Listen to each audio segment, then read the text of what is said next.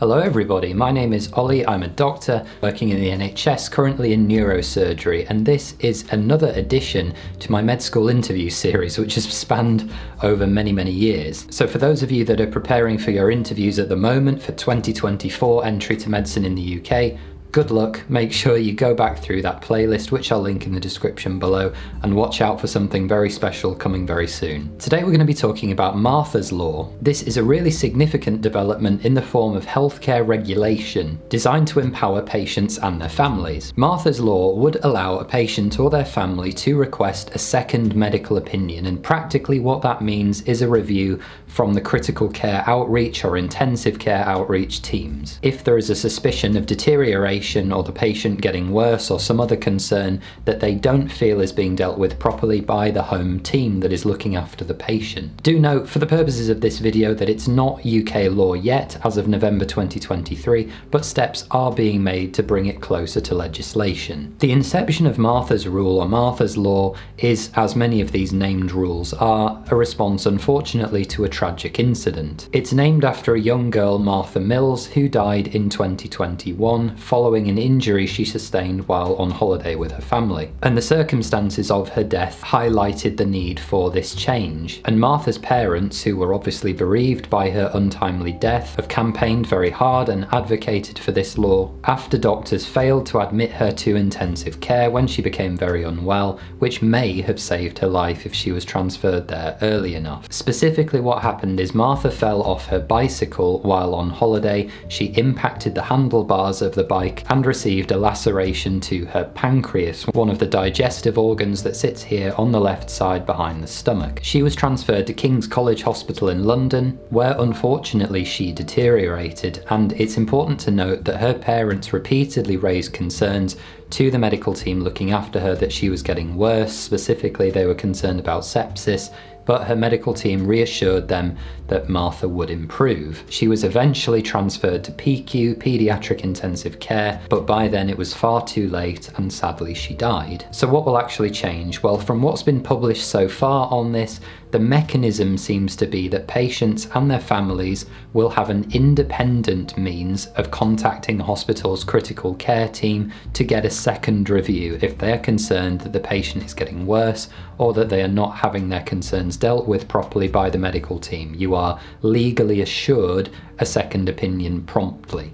So what we're now going to do for the purposes of our medical school interview is think about this from the positives and the negatives. You have to split things into their good sides, their good elements, and their potential downsides, because you could be asked to argue for either side in an interview. So at the face of it, this is a good thing in terms of reducing paternalism and improving a patient's autonomy. This is giving patients and their families a bit more control and a bit more say in directing the care that they receive. It gives patients the security of knowing that they have a safe, non-judgmental means of getting another medical opinion if they feel that they're not being heard. Secondly, the possibility of a second opinion could actually encourage the primary team, that is the initial team that's looking after the patient, to do a more thorough and complete job during their initial assessment, because they would then know that their initial medical decisions may be reviewed and critiqued by their peers down the line, which isn't actually something that routinely happens in medical care. Thirdly, by acknowledging the importance of patient and family opinions in directing care, Martha's Law could actually foster a greater sense of trust in healthcare as a whole, because patients know that their concerns have to be addressed if they ask for it, as opposed to what can happen at the moment where patients sometimes feel as though they're being fobbed off and not listened to. And then finally, by providing a structured and clear means for people to ask for these second opinions, one that is specified and set out clearly in law, it may actually reduce the likelihood of legal disputes developing further down the line if patients are worried that their care team has been negligent. You can imagine that if if someone is worried that their team is being negligent and then they have engaged this process and received a second opinion, they might be much less willing and potentially much less able to bring a legal dispute at all, which reduces the burden of legal cases and negligence claims take up a huge amount of time and money for the NHS, so this is actually a potential saving of a huge amount of resource. However, we now need to think about some potential problems with this, because firstly, the requirement of all patients and their families being able to ask for a second opinion could immensely increase the workload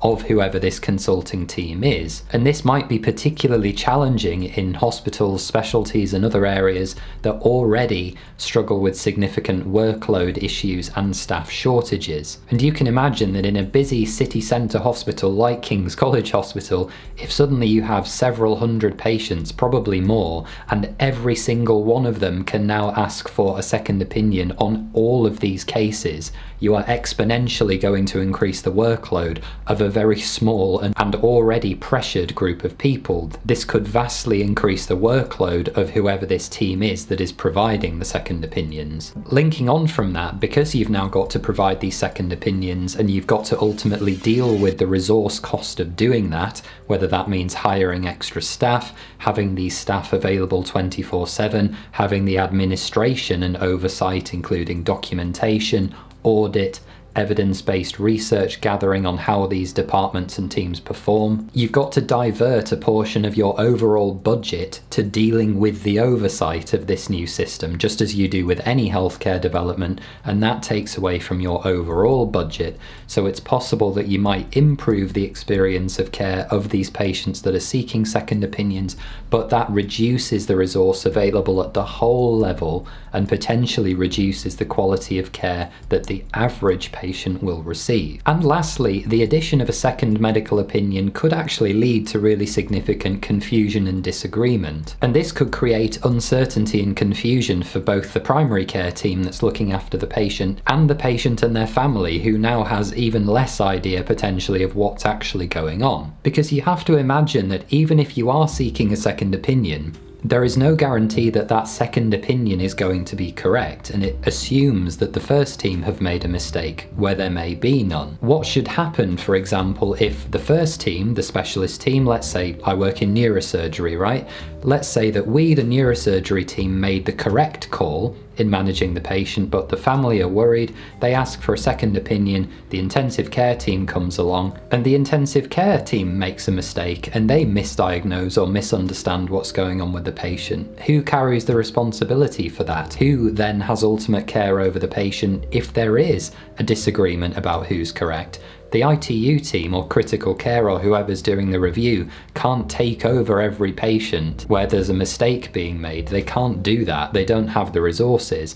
Equally, the first team may have made the correct call and they may have the burden of responsibility taken away, despite the fact that they were safely managing the patient in the first place. You've got to remember that each step of the process is an opportunity for a mistake to be made, and we don't know at any given time who is ultimately going to be correct. Case outcomes can only be decided in retrospect at the end of an entire care process, which is too often after a patient has died. And even then, that is often a matter of opinion, as is come to by coroners, by medical examiners during an autopsy, forensic examination, all of these processes that take place at the very end, looking at all of the facts of a case. Ultimately, what I'm trying to get at is how do we decide who is right and wrong? So, in essence, to sum everything up, Martha's Law is a potentially really transformative case for the UK and the NHS, ensuring that patients and their families have the legal right to a second opinion and reassurance from an independent team. It is absolutely not without drawbacks, however, and however it's introduced in the UK,